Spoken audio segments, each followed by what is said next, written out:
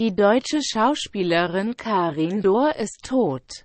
Das bestätigte dem Bayerischen Rundfunk die Komödie im Bayerischen Hof in München, wo Dohr oft auf der Bühne stand.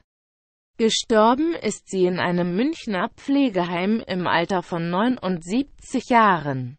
Karin Dohr war vor allem bekannt aus deutschen Kinofilmen der 1960er Jahre. Sie spielte in mehreren Edgar Wallace-Filmen. In der Karl-May-Verfilmung »Der Schatz im Silbersee« zusammen mit Lex Barker und Pierre Brice und ebenfalls neben Pierre Brice als Indianermädchen Riebana in »Winnetou 2«.